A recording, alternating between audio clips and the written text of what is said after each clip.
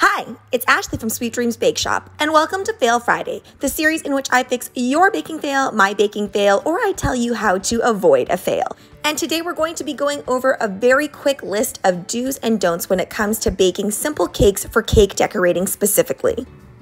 My friend has requested that I make her a chocolate cake, so I'm making chocolate cake today, but all of these tips are applicable to any flavor of cake. So first, let's talk cake pans. Fat Daddio's is probably one of my favorite, favorite brands. Reason being is it has a nice, strong bottom, and I find everything bakes really, really evenly in it. This company offers a variety of sizes and types. The ones with removable bottoms are my favorite. The other cake pan brand that I've used as well is Wilton, and I do own quite a few of these, but I'm not as big of a fan because there's a lot of indenting going on here. When I bang my cakes out, they just bend so easily, and I find they don't bake as evenly, but they still do the job. I bought those out of convenience though because Wilton is more available to me, but honestly, Fat Daddio's is the way to go if I was going to rebuy all of my pans.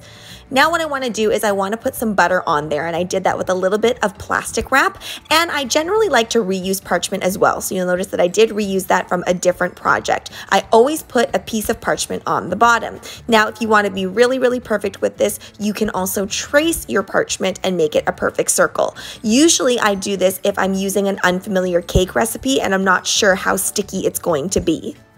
Now I use butter because it adds a really nice flavor to my cakes, but if you are worried about browning or you're not sure how the recipe is going to react with the butter, then I would use shortening or some sort of cooking spray because you won't get a whole lot of browning with this at all.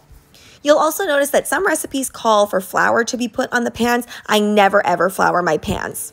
Now, I've been giving you a lot of tips on what to do throughout this video, but now it's time for a don't. And if you're making a lot of cakes and you're making them in big batches, let's say, it's really important that you don't just leave your batters sitting out. It's super, super important that you give it a good whip again before you put them into the cake pans. It's also really important too that you don't overmix your batter. You'll notice that in the beginning of my video, I just kind of mixed until everything was incorporated and then I stopped. Now that smaller cake pan there, I definitely could have filled this up more, but I just ran out of batter. So you wanna hit about that line. Each of these is filled about three quarters of the way.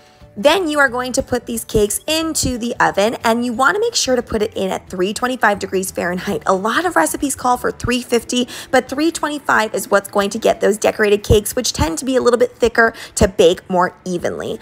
To check if cakes are ready, I like to give them a little bit of a tap, and if they don't jiggle, they're generally ready. However, this can happen where things are a little bit loose still. Whenever I see that much left on the toothpick, I know it's going to be about three more minutes. One last do for you that I have for the baking process is don't open that door before the 20 minute mark because every time you open it, you lose that heat. Now, if you've prepared your pans properly, they should just slide out super, super easily like that. And then you can just take off the parchment paper. Now, sometimes I will just leave my cakes overturned like this so that they remain super flat and we don't have to waste any cake whatsoever. Now this is why these are my favorite type of cake pans. They slide out super, super easily and I didn't need to use any extra parchment or anything. And I find the baking on the bottom is also super, super even.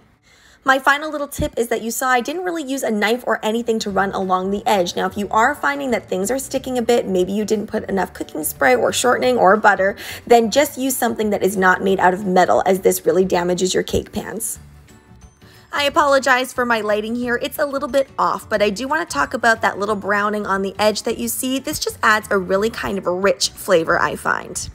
Thanks so much for watching, guys. Don't forget to like, share, and subscribe so you can be part of the Sweetie fam. Right now, I'm uploading daily, so make sure you hit that notification bell so you know when I upload. Also, be sure to comment, request, or ask a question. I love hearing from you guys.